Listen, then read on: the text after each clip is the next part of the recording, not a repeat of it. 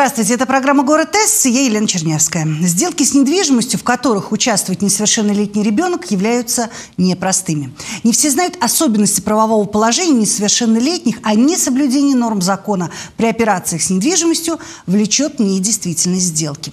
Регистрация сделок с участием несовершеннолетних – тема нашей сегодняшней программы.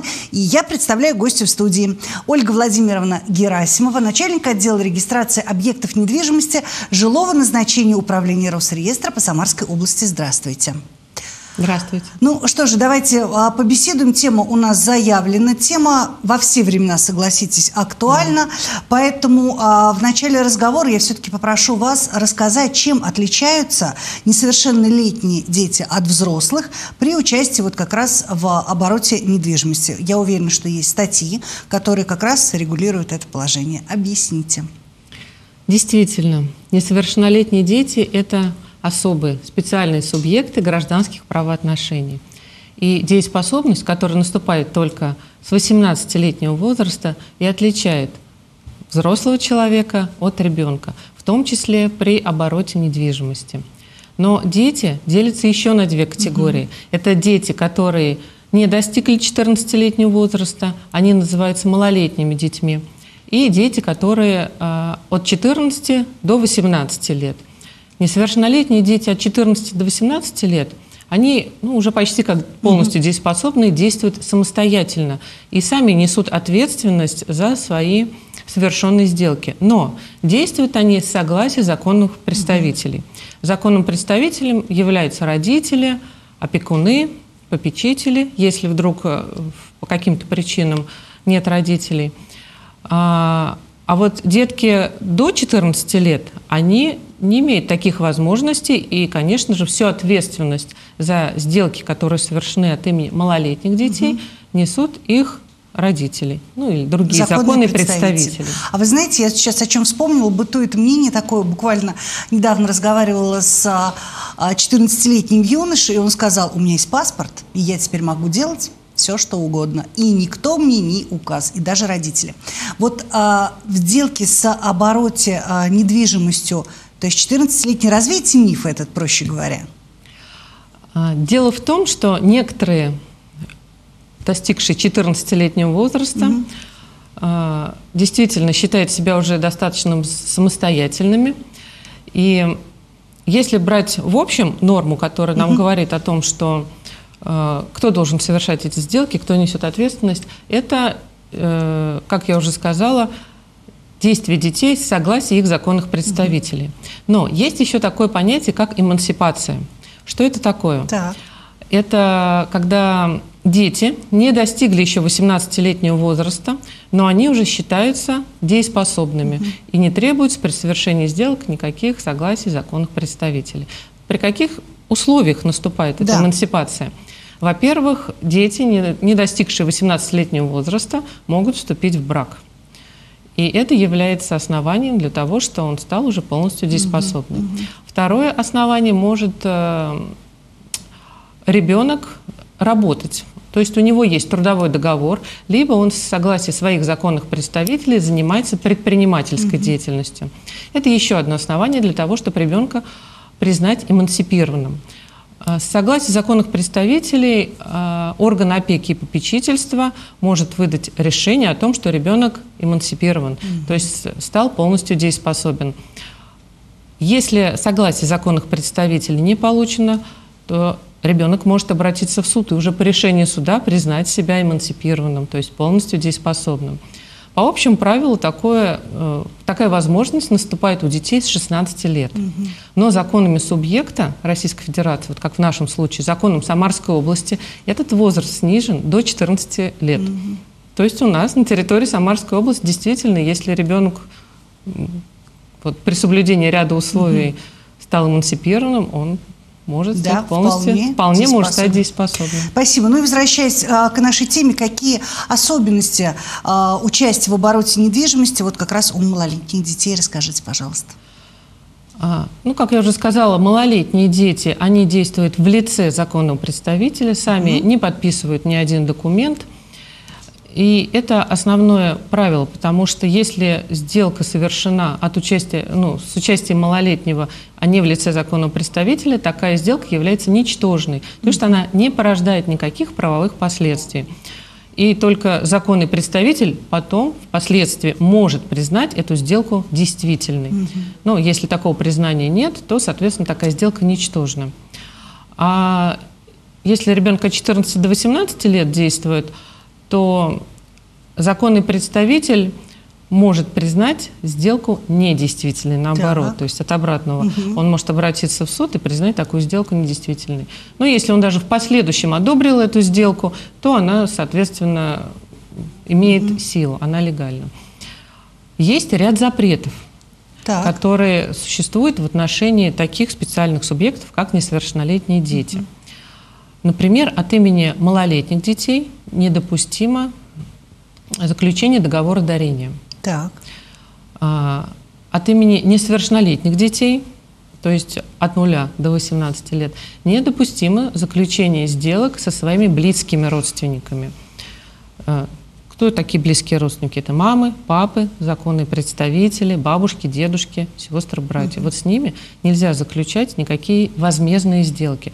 То есть, возможно, а, законные представители могут, ну то есть родители могут подарить ребенку квартиру, подарить ребенку какое-то другое недвижимое имущество, но ни в коем случае не заключить с ним договор купли-продажи. Угу, угу. Вот такие запреты существуют. А расскажите, пожалуйста, а кто может э, представлять интересы малолетнего ребенка? Вы сказали, что уже родитель и законные представители.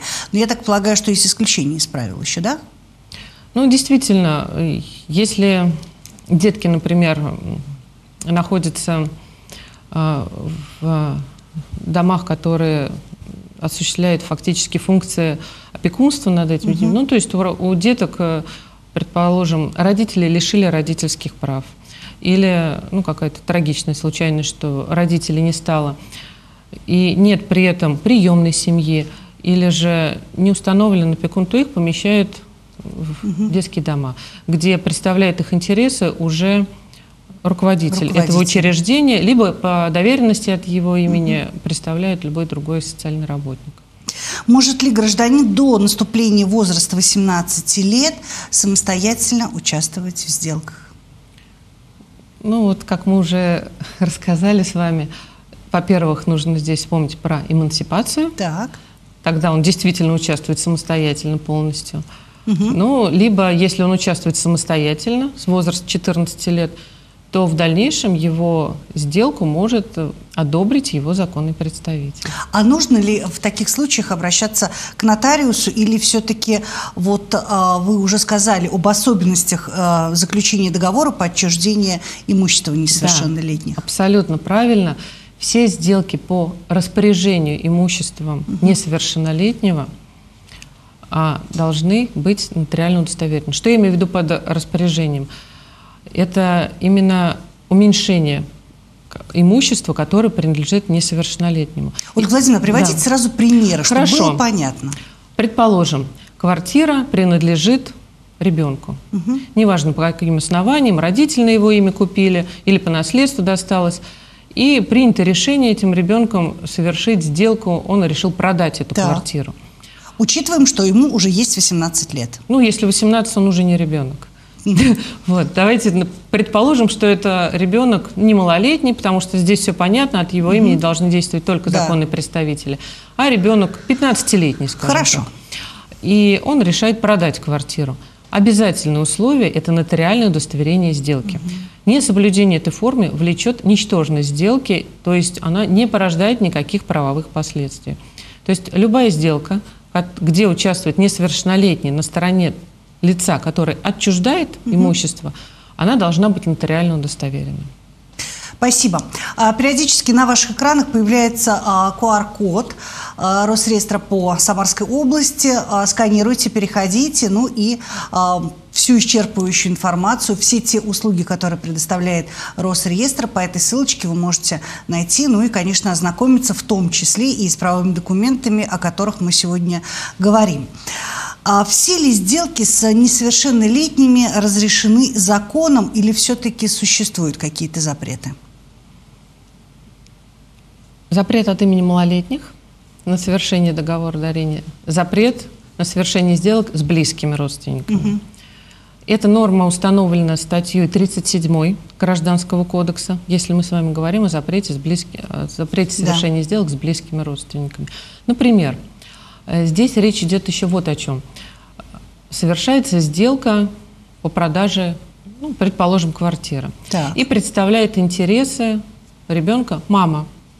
А со стороны покупателя действует мама этой мамы, бабушка угу. ребенка. Вот такая сделка запрещена, потому что между собой мама и бабушка близкие родственники. Угу, угу. Есть еще какие-то примеры? Ну, безусловно, жизнь да, давайте массу примеров. Приведем, и, наверное, чаще, чем вот когда-либо да, происходит а, с этим нарушения? сталкиваемся, когда речь идет о материнском семейном капитале. Да. Потому что многие считают для себя более приемлемым совершить сделку, так скажем, внутри семьи, угу. оставив тем самым денежные средства, но не улучшив материального положения. Жилищные условия при этом не улучшаются. А давайте То есть вообще... покупаем, что было, то и покупаем. Да, а давайте вообще э, для начала вот использование материнского капитала, вообще что гласит закон? Если, допустим, квартира покупается или продается, и уже использован материнский капитал внутри этой квартиры, как вообще э, должны распределиться доли? Вот что говорит закон? Давайте так. А, я в принципе сейчас расскажу, угу. что такое материнский да, семейный капитал, конечно. для чего он может быть использован, какие нюансы есть, какие угу. ошибки допускаются. И в том числе я расскажу о, о распределении долей между участниками вот всей долевой собственности. Материнский семейный капитал – это мера государственной финансовой поддержки семей, которые имеют детей. Угу. Она у нас действует с 2007 года, и плановая дата окончания Э, конец 2026 года. Если говорить о материнском семейном капитале в цифрах, то по всей России вот за эти 15 лет действия программы воспользовались э, материнским семейным капиталом в целях улучшения жилищных условий 8 миллионов 200 тысяч угу. семей. А, и Из общего количества э, это хороший показатель, это, хорошие цифры? На мой взгляд, колоссальный это очень показатель. Да. показатель. Угу. Потому что именно 8 миллионов с лишним семей улучшили свои жилищные условия. А, для чего может быть использован материнский семейный капитал? В принципе, он используется как э, накопитель, часть накопительной пенсии для мамы, а, для социальной адаптации детей-инвалидов, для ежемесячных выплат, если есть для этого специальные какие-то показания, условия, условия да. а, а также на образование детей. Но большинство людей предпочитает э, использовать материнский семейный капитал для того, чтобы улучшить свои жилищные условия.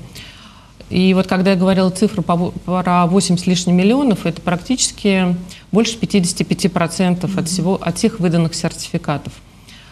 А, как можно улучшить жилищные условия? Во-первых, это покупка квартиры. Квартиры, комнаты, жилого дома.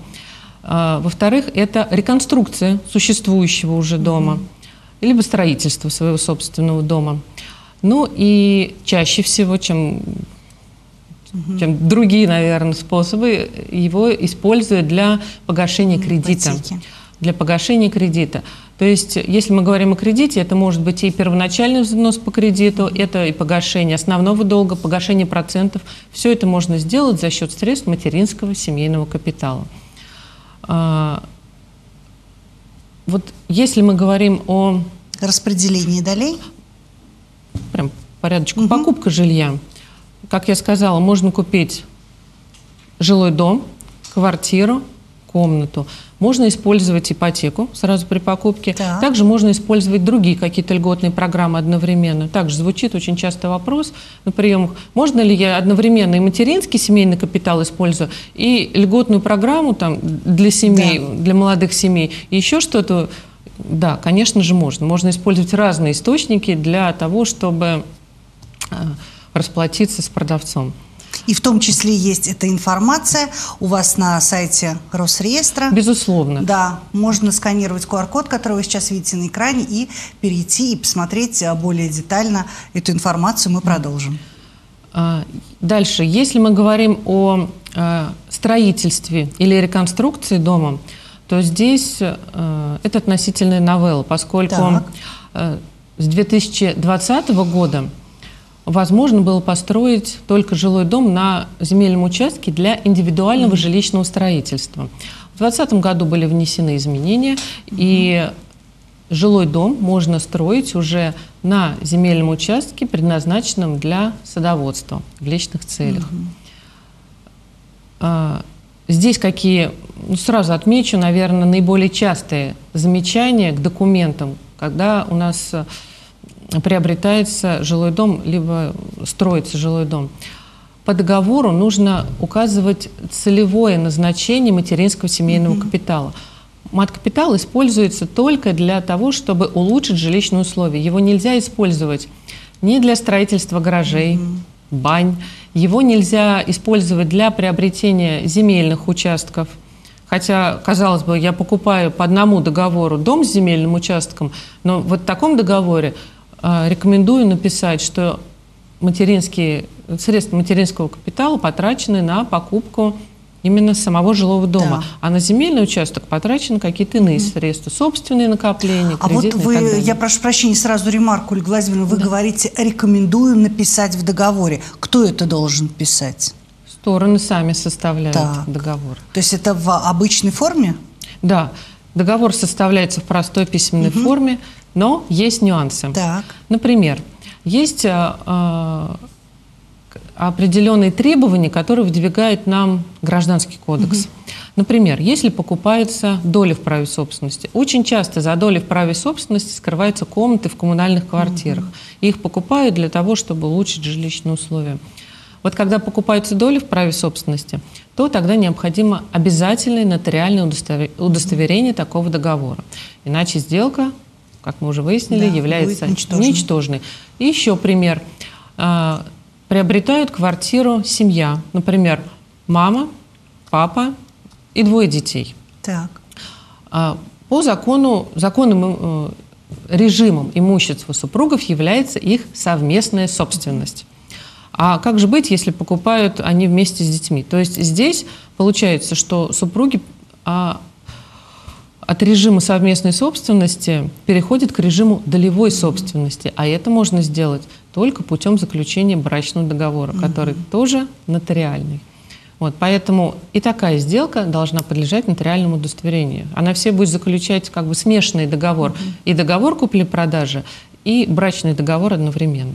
Если покупается недвижимость с использованием, опять же, э, матери- средств материнского капитала, то расскажите, при продаже уже этой квартиры, как будут распределяться Правильно. Я же так и доли? не рассказала про распределение долей. А, Действительно, у нас предусмотрена возможность а, оформить на одного члена семьи. Как правило, это владелец сертификата, мама на себя оформляет право собственности на приобретаемое даже с использованием средств материнского семейного капитала вот, недвижимое имущество, жилое недвижимое имущество. Предположим, мама купила квартиру, оформила только на себя. Но в момент покупки она обязательно дает нотариальное обязательство социальному фонду, а, обязательство о том, что когда, как только будет зарегистрировано право собственности, она обязуется в течение шести месяцев определить доли каждому из участников долевой собственности. Ну вот это новелла, Всем нужно детям. сказать, потому что вот лично, когда я использовала материнский капитал, такого не было. Возможно. Всем детям она должна, а также э, оформить на своего супруга обязательно причитающуюся им долю.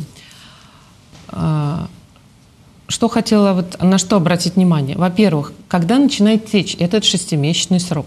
Если оформляются без кредитных средств, то вот как только оформлено право собственности, тогда начинает течь течь шестимесячный срок.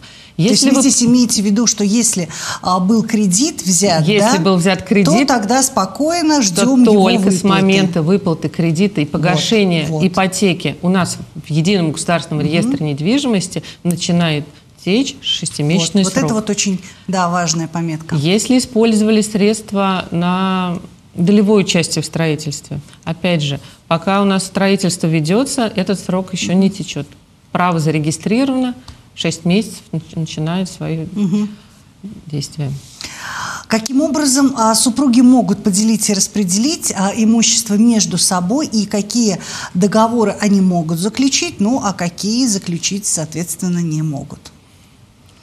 Супруги. Их, э, э, их права регулируются гражданским и семейным кодексом. Угу. В семейном кодексе сказано, что законным режимом имущества супругов является совместная собственность. Отступить от этого правила они могут только заключив э, брачный, брачный договор.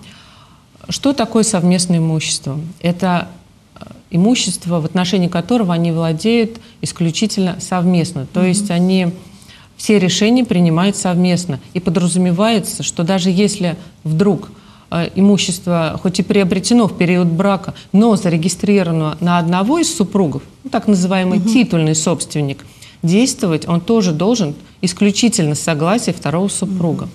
Бывают ситуации, когда один из супругов, на кого оформлена недвижимость, обращается за регистрацией перехода права собственности и не предоставляет нам нотариально удостоверенное согласие, согласие да? второго угу. супруга.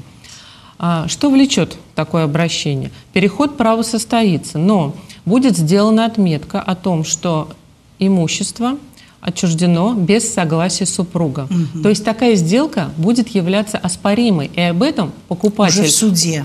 Покупатель уведомляется. Он в документах, которые получает по результатам регистрации, видит, что на момент заключения сделки согласия второго супруга получено не было. И, соответственно, супруг чьи, чьи права нарушены. Таким образом, вот только с момента, когда он узнал об этом, либо должен был узнать, у него есть год на то, чтобы оспорить эту сделку. То есть такая сделка является оспоримой. Спасибо. А может э, ли, могут ли родители а, продать а, свое имущество детям? Вот здесь разъясните, пожалуйста, правила и нормы. Если дети несовершеннолетние, угу то сделки возмездные, любые сделки, пусть несовершеннолетние на стороне покупателя или несовершеннолетний на стороне продавца, в принципе, сделки между родителями и своим собственным ребенком, они недопустимы. Угу. Об этом есть прямой запрет, об этом говорит у нас статья 37 Гражданского кодекса. Ну что же, а, подводя итог нашему сегодняшнему разговору а, по теме а, регистрации сделок с участием несовершеннолетних, что бы вы выделили в главное, о чем нужно помнить, о чем нужно знать, если вдруг сейчас, а, кто смотрит наши уважаемые телезрители, вот предстоит такая сделка? Я считаю, что и рекомендую всем, кто приобретает недвижимость, проверять сделки на проверять объекты, во-первых, заказывать угу. выписки и смотреть, кто, ну, чтобы была чистота этой сделки. И если у нас продавцом является несовершеннолетний ребенок, то, безусловно, нужно собирать все документы, которые необходимы для этой сделки.